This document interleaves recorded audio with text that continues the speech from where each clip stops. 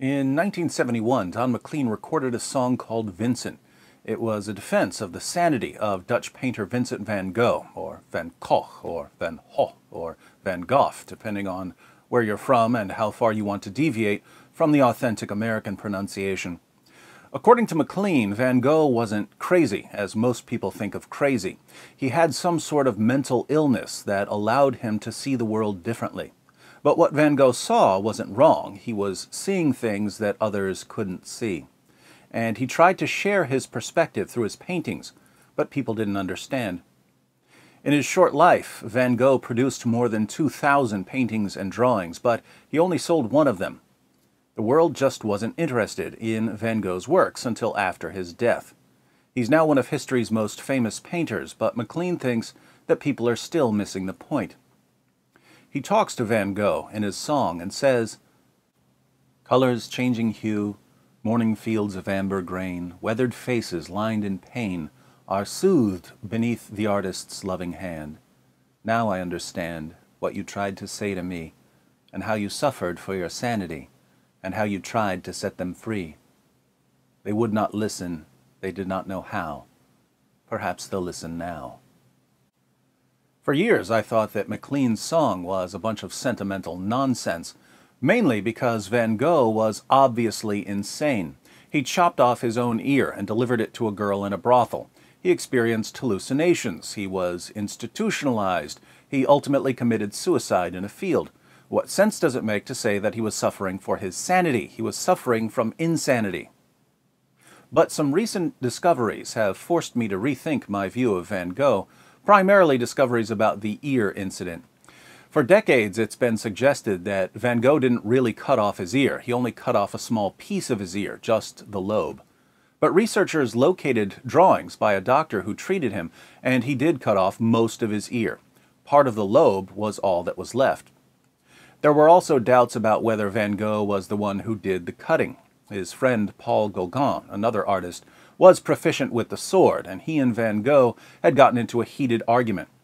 Some have argued that Gauguin cut off Van Gogh's ear when Van Gogh charged him in a fit of rage. Van Gogh claimed that he remembered nothing about losing his ear, so there's precious little to go on.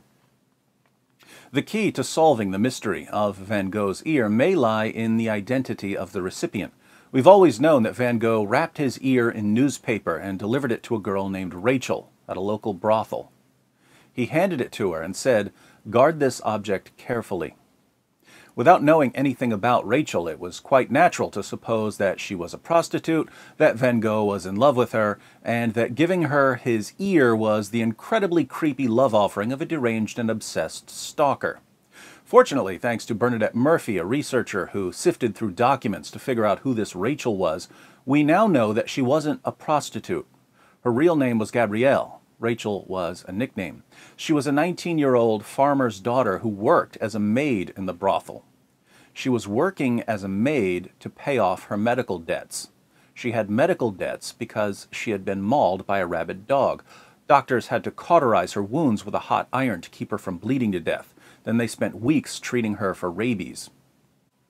So here's a girl with scars from the rabid dog and burns from the cauterization, cleaning brothels. People stare at her because she's disfigured.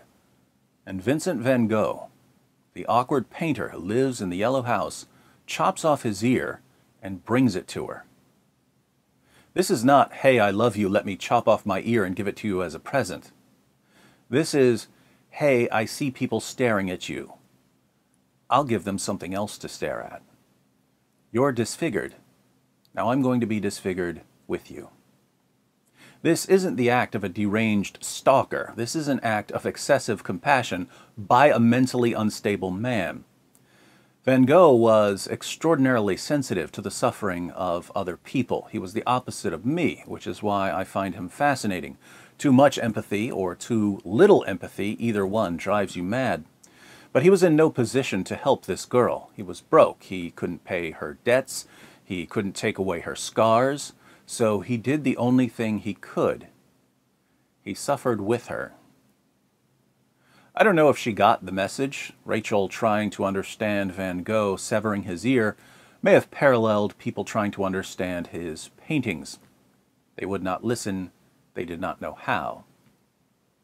I should point out that there are non-crazy versions of what Van Gogh did. You can be perfectly sane and try to understand what someone is going through and try to enter into this person's suffering in order to help. My son Reed has a genetic muscle disease called myotubular myopathy. His muscles are extremely weak, too weak to walk or eat or breathe. So machines do a lot of the work. A machine pumps air through a tube in Reed's throat. It's called a trach tube. A few years ago, Reed started pulling the tube out, and that can lead to problems because it isn't always easy to get back in. So we would strap the trach tube to his neck, but he would manage to get the straps off and pull it out. He would pull out the tube that he breathes through, and he would hide it. We were trying to figure out if it was irritating him, was it itchy, was he just trying to get attention? We didn't know. But one day my wife said, I think Reed is realizing that he's different from the rest of us. Maybe he's pulling out his tube because he wants to be normal. Then my oldest son, Luke, proposed a solution. He said, I don't want Reed to feel like he's different, so I think we should cut the inside tubes off of some old trachs and tie the trachs to our necks and wear them when we're around Reed so he'll think that it's normal. Proud father moment.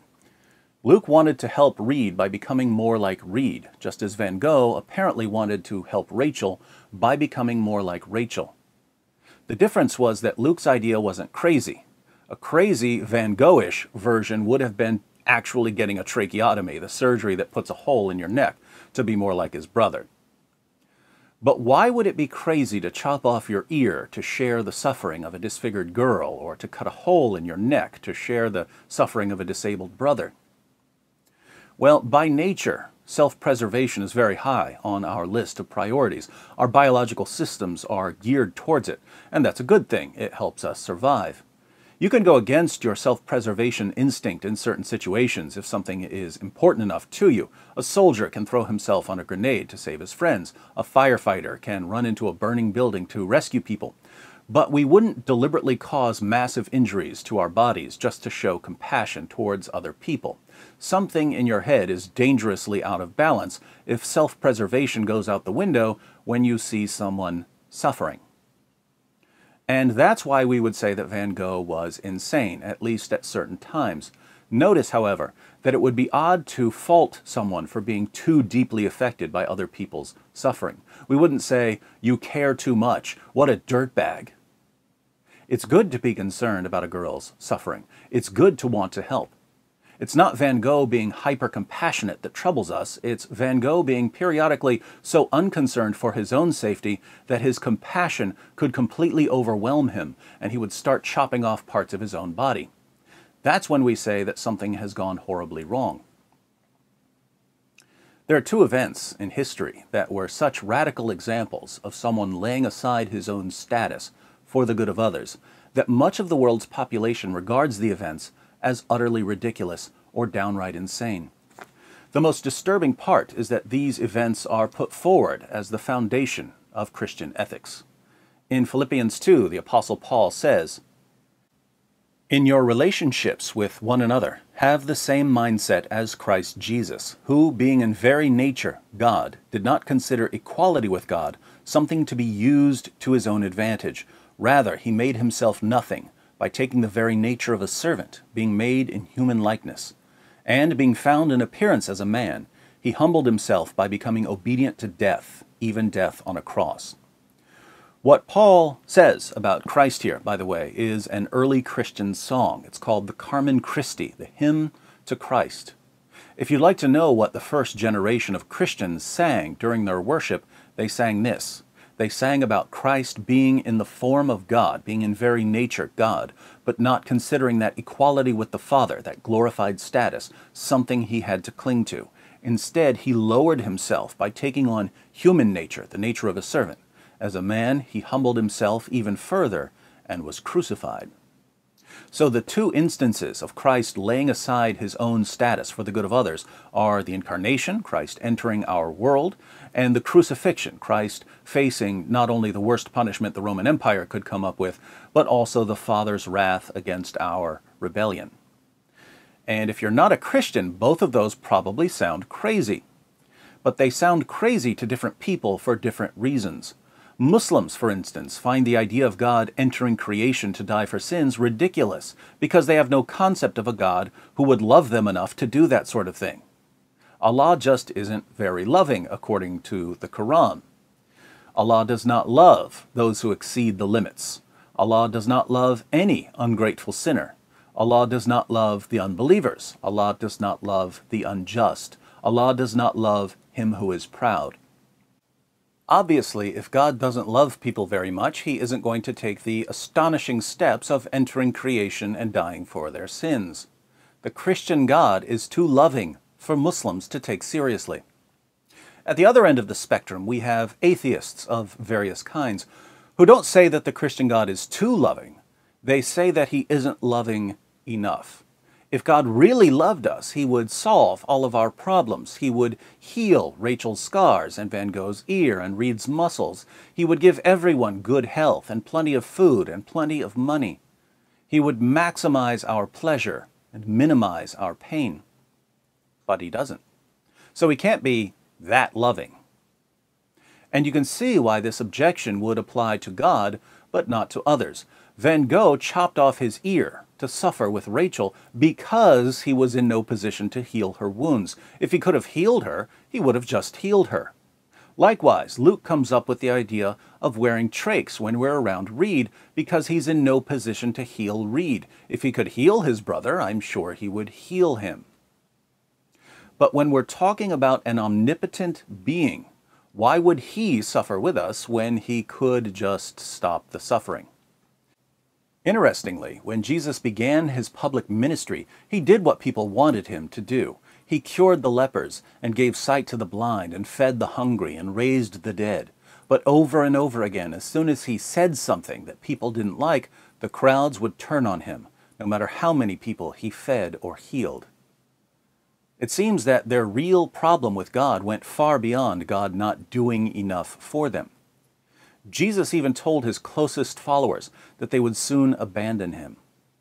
But as he was telling them that they would betray him, he offered them something. He said, A time is coming, and in fact has come, when you will be scattered, each to your own home. You will leave me all alone, yet I am not alone, for my Father is with me. I have told you these things, so that in me you may have peace. In this world you will have trouble. But take heart, I have overcome the world. Three key claims here.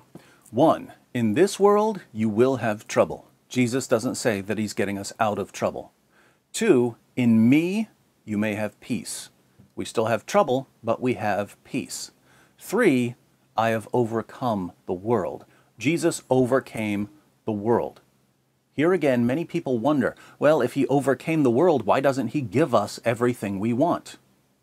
But if we're thoroughly embedded in the world, if we're part of this world's way of living and acting and thinking, making our dreams come true isn't overcoming the world, it's surrendering to the world.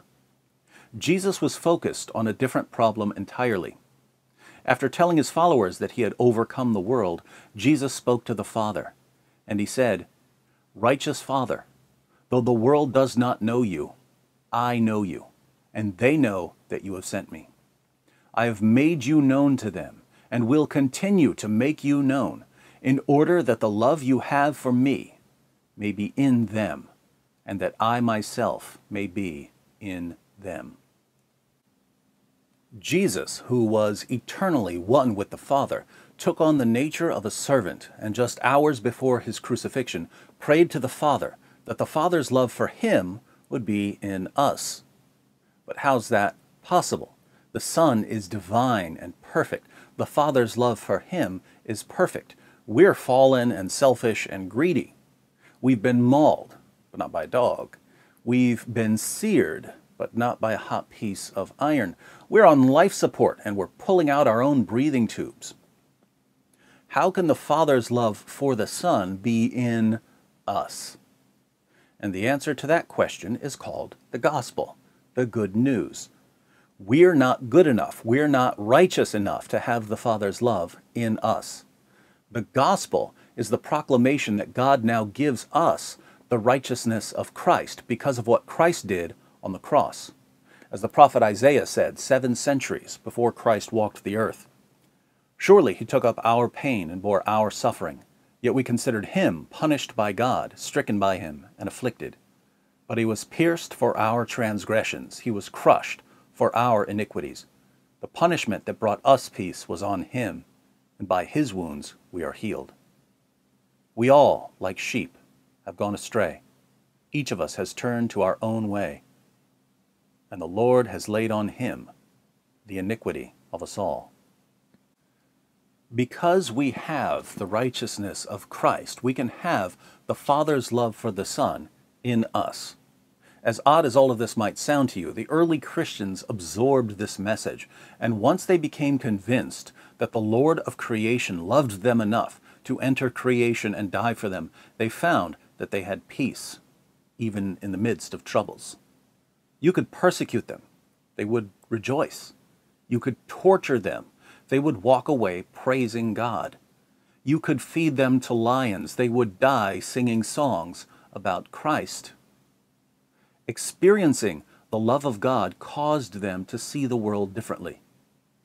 They tried to share what they saw, but many people couldn't understand the view from the cross as Jesus suffered on the cross, mocked by the crowds, he prayed, Father, forgive them, for they do not know what they are doing.